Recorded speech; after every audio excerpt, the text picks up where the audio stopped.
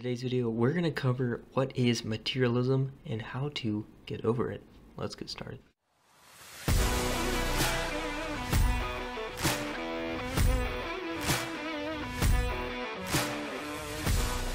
Hey guys, welcome to the video. Today we're going to cover what is materialism and how to get over it. So, um, what really prompted me to make this video is for the past couple years and really all my life, I've always been one to value material things. And what is that? Um, let me go ahead and show you. So, whoops, right here is an RC car. Okay, let me get a good look at that. So, this was something that I really, really wanted back in 2014 um, and when I was younger. And so basically what would happen is every year I would um, mow a bunch of yards with my brother um, he was very generous and would pay me pretty well. Um, and I would save up and go buy RC cars or candy and all these things. What began to happen is over the years, I grew to love working, but only working just enough to save and then go spend it all on the next RC car, the next toy. And you may be thinking, yeah, that's like what most kids do, anyways.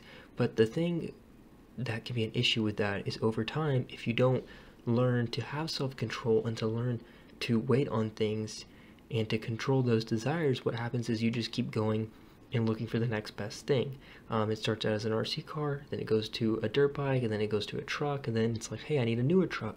Um, then I need a house. Then I need to get a bigger house. And um, wanting newer things and nicer things is not wrong, but it's that desire where you put it over um, say other priorities in your life, like your relationship with God or your family or your kids, um, whatever that may be. Materialism is the belief that the material possessions are more important than other things in life, such as relationships, experiences, and personal growth. It can be a harmful mindset as it can lead to dissatisfaction, debt, and environmental problems. That's new. Um, if you're looking to overcome materialism, here are a few tips. Number one, identify your trigger. Two, practice gratitude. Three, set goals that are not materialistic. Um, four, spend time with people who are not materialistic. That definitely helps. And then five, donate or sell your belongings. So let's quickly over um, some tips on that. And let's go ahead and start with the first one. What are the things that make you feel like you need to buy more stuff once you know what triggers are you, you can start to avoid them. A big trigger would be going on Facebook. Um, and the reason why is on Facebook Marketplace, you can look up anything you want. So um, a while ago, and actually not too long ago, about a year ago, I was looking for dirt bikes, motorcycles, enduros, and all that stuff. What began to happen is every day I was on Facebook looking for motorcycles. I was trying to find a good deal. And that may not be a wrong thing, but I noticed you know, I'm spending a lot of time trying to focus on this, and I could be focusing on other things that are actually important and that I actually need. Um, so that's one thing that may be helpful to you is do not go on social media or any type of platform where you can go search for that thing that you really want if you're feeling like that is something that you don't need. So cut out all um, online interaction if you can. Um, take some time each day to appreciate the things you already have. So, if you have a truck or you have a car or whatever, some type of transportation that is good and that gets you from A to B and it works, well, then maybe practice being grateful for that. Um, I drive an old truck, I would like a newer truck, but I realize, hey, this thing works, does the job. Do I really need a newer vehicle? No, I don't. Um, so it says, appreciate things you already have. This will help you face on the positive Focus on the positive aspects of your life and be less focused on acquiring more stuff. Set goals that are not materialistic. Instead of setting goals like I want to buy a new car or I want to have a bigger house, set goals that are are more focused on personal growth, such as I want to learn a new skill or I want to travel to a new place. That can definitely be really good. That's a golden nugget right there when you're starting to look for things that you want to buy, um, like a drone. If you already have a drone, maybe practice a new skill with the drone you currently have. Um, another good skill is music. if you're finding yourself restless after work and you're not knowing what to do with yourself and nothing else um, really um, captures your attention, then learning an instrument takes a lot of time, focus, energy, and persistence. And that challenge in itself can be enough to keep you intrigued to get better and to learn this instrument or new skill, like playing tennis. Um, this one says spend time with people who are not materialistic. So, as common as that sounds, it can be a lot harder than it is because you may not realize some of the friends you may have are materialistic just like you. That's why y'all maybe get along and you want to monitor that. So it says surrounding yourself with people who value experiences over possessions can help you shift your own mindset. And that is true. If you find yourself with people that need to go out and to constantly go shopping to have a good time or to go get a drink or whatever it may be, um, even food, then you may reevaluate who you spend your time with. If you can call up your friends and say, hey, do you want to go walk at the park? And I'm like, yeah, sure. And then go home and, and no dollar was spent. Well, then that may be a valuable relationship to keep growing. As you can see, they don't require food, they don't require any materialistic items um, to um, be in your presence. They can just hang out with you, and that's it. Um, another great way to find friends like that is to go outside and get involved in sports, especially like pickleball or tennis. Most of the people there are just there to play tennis and then they go home and they're happy with that. You don't have to go spend money to have a great time. Here's another last tip find other ways to feel good about yourself. Material possessions are not the only way to feel good about yourself, there are many other things you can do to boost your self esteem, such as spending time with loved ones, learning new things, and helping others.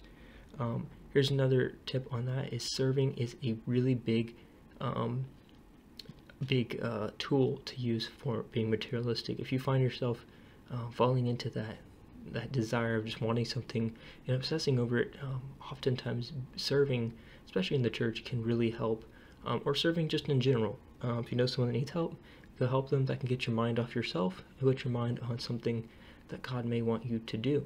Overcoming materialism is a journey, not a destination. It takes time and effort to change your mindset, but if you're willing to put in the work, you can live a more fulfilling life and less materialistic life. Um, a lot of trends have come up in the past years of material um, minimalism, and that may help you as well. So that is Google's advice on that, and I was going to go ahead and read to you guys some scriptures on materialism from the Word of God. So NIV translation 1 Timothy 6, 7, and 8. For we brought nothing into the world, and we can take nothing out of it. But if we have food and clothing, we will be content with that. Um, that couldn't be more true. And that goes to show you look, if you, you have food, you have water, you have clothes, you may even have a vehicle to get to your destination. Um, what else do you really need? You have an awesome phone, um, and you have family. Hopefully, you have all those things, or a portion of all of them. Um, the main ones is if you're watching this video, you are most likely alive and you have an internet connection, so you can download a game or something. Um, it just goes to show you, look at the little things you have. I have water, I have a bed, I have food, I have friends, I have family, and most of all, I have God. So what else do I really need? Whoever loves money never has enough. Whoever loves wealth is never satisfied with their income, this too is meaningless. Um, oftentimes we can get consumed with um, how much money do I have? Money is your goal. It can get very empty and very boring very quickly because you'll just be wanting more and more money, and it never really um, amounts to anything but that. 836. What good is it for someone to gain the whole world yet forfeit their soul? Um, we see this a lot time and time again with rappers and very famous people as they gain all this success, um, fame.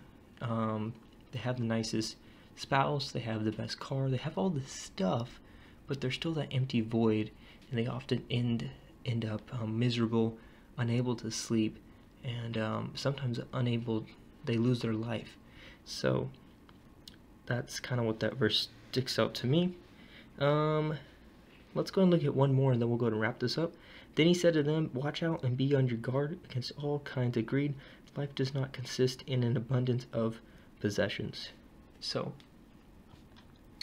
that one is Luke 6, Luke 12, 15. So hopefully guys, this video helps you identify if there's any materialism in your life and if you see anything, I hope that God helps you see what it is exactly and to um, take action on that because you can watch this video, but if you don't take action on any of the stuff talked about in the video, well then you may end up in the same spot. Thank you so much for watching this video and I'll see you on the next one.